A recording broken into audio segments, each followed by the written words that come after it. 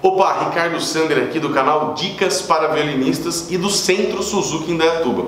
E nesse vídeo aqui eu vou te dar cinco dicas, falar sobre cinco pontos que vão fazer você tocar violino muito bem.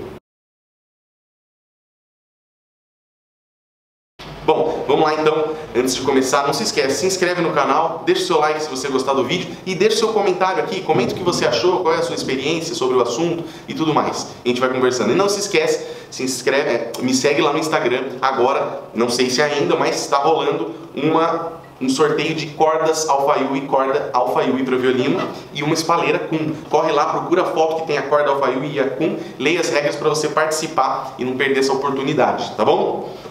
Bom, vamos lá. Às vezes eu vou dar uma olhadinha aqui para baixo porque eu fiz uma anotação aqui para não esquecer de nenhum ponto desses cinco pontos que eu vou te dizer. Primeiro ponto, qual que é?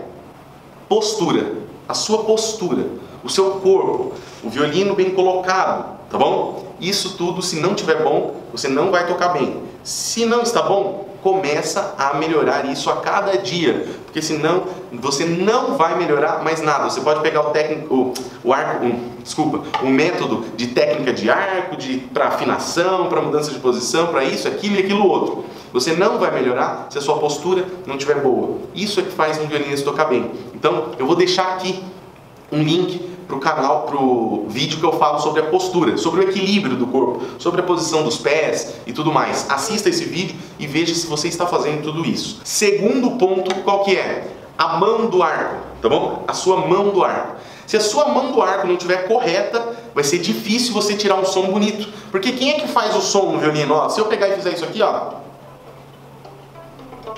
não acontece nada. Quem faz o som é essa mão aqui, a mão direita. Então a sua mão do arco, se ela não estiver segurando o arco direitinho, direitinho, esquece, tá bom? Esquece, porque o seu som não vai ficar bom, você não vai conseguir melhorar, você não vai conseguir tocar bem violino. Você pode pegar qualquer método que não vai melhorar, tá joia? E eu vou deixar aqui, ó, o link que eu mostro e falo detalhadamente com um zoom na minha mão, falando sobre a mão do arco, como é e por quê e como eu faço, tá bom? Veja esse vídeo para você conseguir fazer bem a sua mão do arco. O terceiro ponto é o ponto de equilíbrio, tá bom? O arco no quadrado. Tem um vídeo também, vou deixar aqui o vídeo do ponto de equilíbrio, tá bom? É, que eu falo sobre o ponto de equilíbrio. O que, que ele vai trazer de bom para você, se você souber tocar?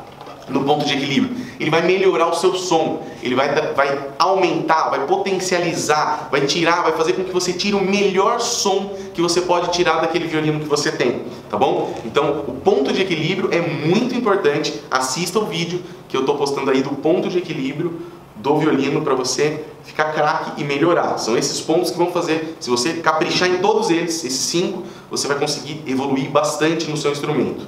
Quarto ponto, qual que é, Ricardo, o quarto ponto? O quarto ponto é o ponto de contato. Né? Qual que é a quarta coisa que vai fazer eu tocar bem? Ponto de contato. Presta atenção, às vezes está passando um arco torto, você está passando um arco muito aqui próximo do, caval do espelho ou do cavalete. E isso vai estar, tá, ponto de contato, vai estar tá interferindo diretamente na qualidade do seu som também. Então, presta atenção, assista o vídeo que tem aqui do ponto de contato para você tocar bem e tirar o melhor som possível. Se você assistir, presta bem atenção tudo que eu falo do ponto de contato, para que serve, onde se usa, assiste o vídeo lá que você vai entender. O ponto de contato é fundamental também para você estar tá tocando bem. E o quinto ponto, não menos importante por ser o último, né, mas está numa lista de prioridades que você tem que tomar cuidado. Não adianta ficar tomando cuidado com esse quinto ponto, com o quarto, se o primeiro e o segundo não estão bom. Então pega esses pontos trabalha eles na ordem, deixa eles em ordem, naquela ordem, você vai melhorando eles nessa ordem, que vão fazer muito sentido, tá bom?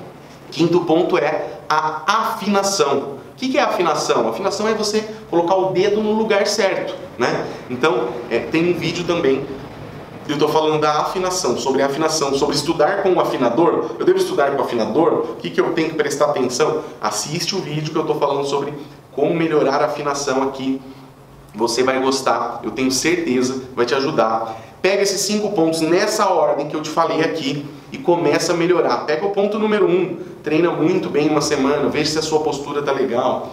Depois veja a sua mão do arco, depois veja o ponto de equilíbrio, depois veja o ponto de contato e depois a afinação. Trabalhe com muita calma, com muita atenção em cada um desses pontos e eu tenho certeza, depois você vem aqui e me conta, tá bom? Conta pra mim qual foi o resultado que você teve, porque eu tenho certeza que você vai evoluir no seu instrumento, independente do método que você utilizar e de tudo mais, tá bom? Se essas prioridades estiverem acontecendo de uma forma muito boa, você vai evoluir, tá bom? Não se esquece, deixe seu comentário aqui no vídeo, e não se esqueça, segue lá no Instagram, arroba Ricardo participar do sorteio da corda da espalheira e outros que a gente vira fazer, tá bom? Obrigado e até o próximo vídeo.